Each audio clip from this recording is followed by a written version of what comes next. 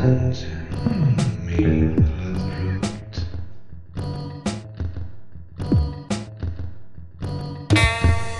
Weird man says something weird.